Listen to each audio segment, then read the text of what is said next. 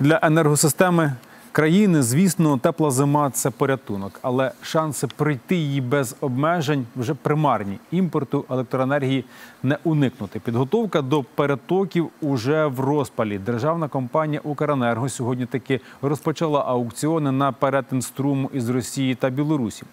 У Лукашенка, який уже рік як не друг, купуватимуть одну тисячу мегаватт. У Росія, яка вже сім років як ворог, одну тисячу 540 мегаватт. На тлі запевнень чиновників про забезпечення газом, якого нібито вистачає для країни на зиму, запевнень про зростання запасів вугілля, якого вчетверо менше ніж треба для ТЕС. Оці тендери це що? Тобто тепер ми йдемо до ворога, з яким воюємо, і просимо продати нам електроенергію, за яку заплатимо валютою. А ворог на цю валюту наклепає нових танків та гармат, щоб вбивати нас на сході. Чому ж так сталося? Чим ризикує Україна, купуючи електроенергію в північно-західного сусіда? І чи буде світло цієї зими в українських хатах? Марія Писаренко збирала думки. Це перша білоруська атомна електростанція біля міста Островець, просто поблизу кордону з Литвою. Працює вона менше року і вже пережила аварію. Саме із неї, імовірно, цього опалювального сезону купуватимемо світло. Про те, що цьогоріч Україна отримає електроенергію з Білорусі, повідомляють джерела видання Економічна Правда.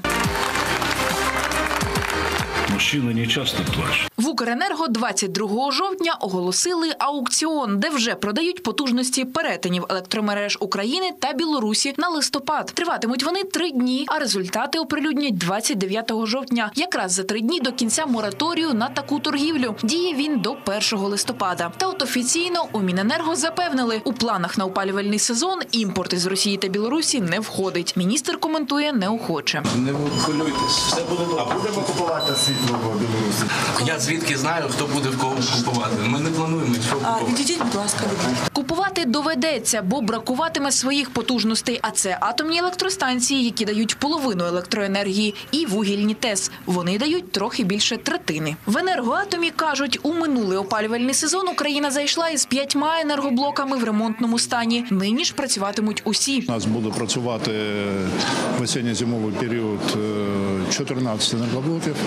І також деякі дні у нас будуть е, 15-й останній енергоблок. Вистачить чи не вистачить, це вопрос не до мене, а до Господу Богу, яка зима буде. Якщо буде тепла, тоді вистачить. Якщо буде дуже холодна, тоді, звичайно, не вистачить.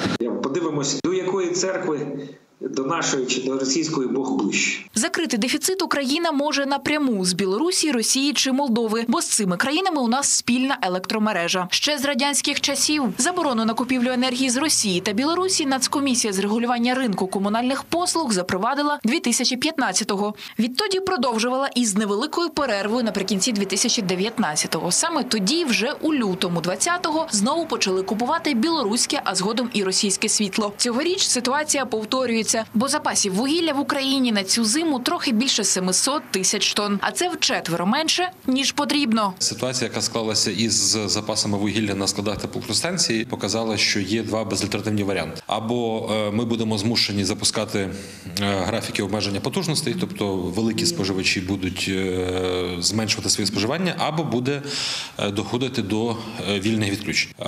Оце перша альтернатива. А друга альтернатива це імпорт з електроенергії там з Білорусі. Експерти бачать у цьому спробу шантажу з боку енергетичного монополіста ДТЕК. Цю компанію пов'язують із олігархом Рінатом Ахметовим. В приватизаційних умовах було, що компанія, яка купить електростанції, повинна завантажувати вугіллям власного видобутку. Як тільки якісь проблеми з компанією ДТЕК е, у влади е, щодо реформи ринку, там якихось там йде спір, клац починаються проблеми з вугіллям Дуже схоже на шантаж. Є ризики і зимових поломок електростанцій. Українська енергосистема в такому стані, що вже не витримує пікових навантажень, особливо взимку. А тому без імпорту кажуть експерти не обійтися, інакше будуть блекаути.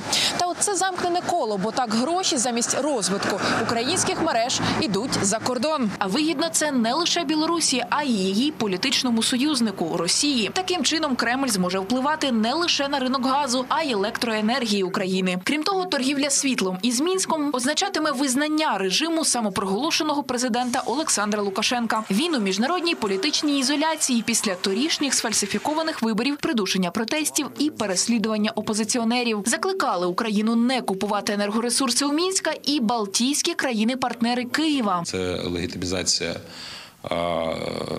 режиму влади у Білорусі. Друге, це те, що е, ці країни висловлювали завжди занепокоєння з приводу безпеки експлуатації цієї АЕС і будь-яка будь-які контракти на імпорт е, дають якесь там політичне зелене світло. Закупівля світла з Білорусі зриває й приєднання України до європейської енергосистеми за угодою про асоціацію з ЄС. До 2023-го Київ зобов'язався відключитися від російсько-білоруської мережі. Для цього має показати, що енергосистема може працювати автономно по тижню в лютому та липні. Росія не хотіла би, щоб Україна е, від'єднувалася від енергосистеми. Не можна виключати взагалі диверсійних е, якихось кроків е, для того, щоб підірвати проходження е, режиму ізольованої роботи. Фахівці кажуть, вирішити ситуацію і відмовитися від угоди з Білорусією ще можна. Для цього Україні потрібно наповнити вугільні склади, бо газом запастися уже не вийде. А от докупити вугілля можна протягом усього опалювального сезону. Марія Писаренко, Богдан Чаргазія, п'ятий канал.